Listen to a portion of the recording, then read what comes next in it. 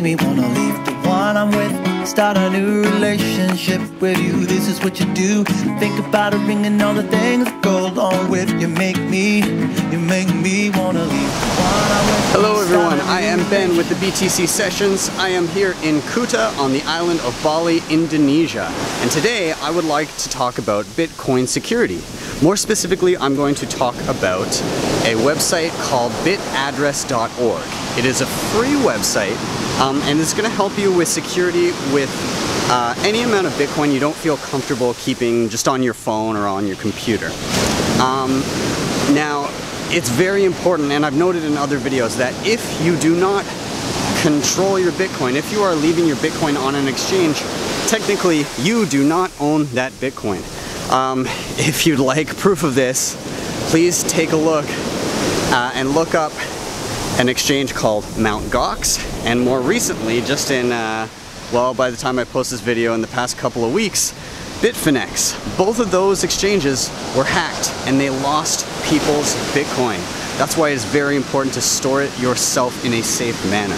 So bitaddress.org will help you create a paper wallet for something called cold storage. A paper wallet is just a printable Bitcoin wallet, and cold storage means your Bitcoins are not accessible online to anyone without that piece of paper. So let's get started. All right, let's take a look at what we're doing here. First thing, you are going to open up your internet browser. I'll use Safari today, and you're going to navigate to bitaddress.org. Now, once you arrive at the website, you're actually not going to do anything on it. You're going to save it as a file on your computer. So you're going to go up to File, you're going to hit Save As, and you're going to save it. It saves as something called a web archive. All right, um, I'm going to save it to my desktop right now. The reason we are doing this, the reason we are saving this website as a file is because the most secure way to create a paper wallet is to take this file that you've created and save it and open it on a computer that has never touched the internet. So perhaps taking this file, putting it on a USB drive, and uh, and opening it on uh, another computer. Um, the reason for this is if your computer happens to have a virus on it and be infected with any sort of malware, then somebody could be watching what you're doing and use that information to steal your Bitcoin from your wallet that you've just created.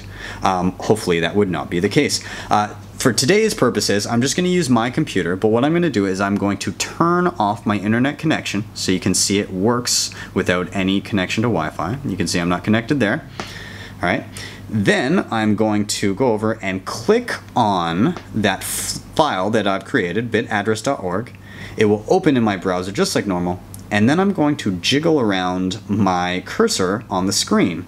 And these random points that are showing up, uh, they are helping create a randomly generated address for me. You can doodle until it gets to 100%. Once it does, you can see you've got a, an address on the screen. Uh, now, I like to do this and make it look all fancy, so I'm going to show you how. If you go up and click on Paper Wallet, you can see it gives you this awesome design here. It looks just like a banknote. Um, and in this case, it's generated a few different addresses for me. Um, but you can change that. So down below, you've got some options here. If you look, you can see something that says addresses to generate. Uh, it had created three. Uh, you can see addresses per page, so there would be three on the page that you're looking at. Uh, and then over here you have something that says encrypt, and that just means adding a password to password protect your wallet. So I'm going to create one address. I'm going to have one address show per page, and I'm actually going to give it a password of I love Bitcoin. Then I'm going to hit the button generate. It takes only a moment, and then you can see popping up on the screen now one address, uh, and this address is password uh, protected. So what are we looking at here? Over on the left, this is your address. That's the QR code anybody can send money to. And this is the string of characters that also represents that address.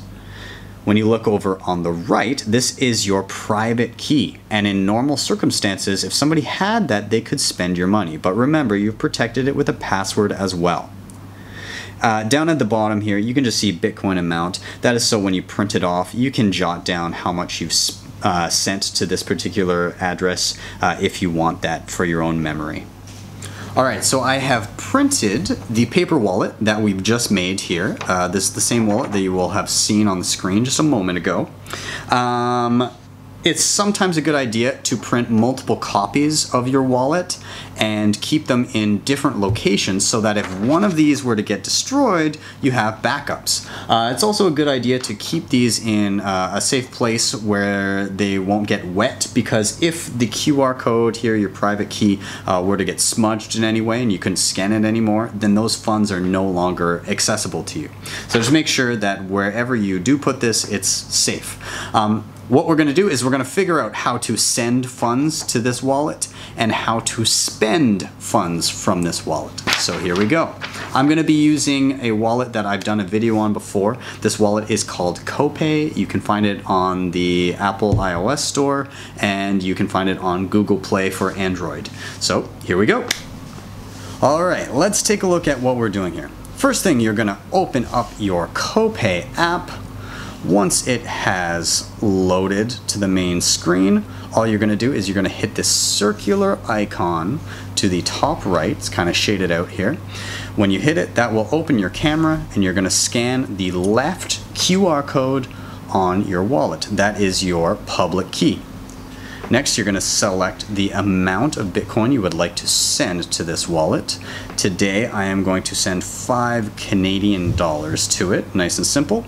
So I'm going to select my uh, the number of dollars I'd like to send, and I'm going to hit the send button down below. This will give me one confirmation page. I hit confirm, and we have successfully loaded our funds onto this paper wallet. Now we are going to do just the opposite. We are going to take the funds off of this wallet. So in the top right, you're going to hit your settings wheel. Then you're going to go to advanced and you are going to click on sweep paper wallet. Once you get here, there's that little square in the top right. You're going to hit that. That will open up your camera and you're going to scan the right QR code, which is your private key, and from here, this is where you're going to input that password you made up before. So I click and I'm going to type in, I love Bitcoin.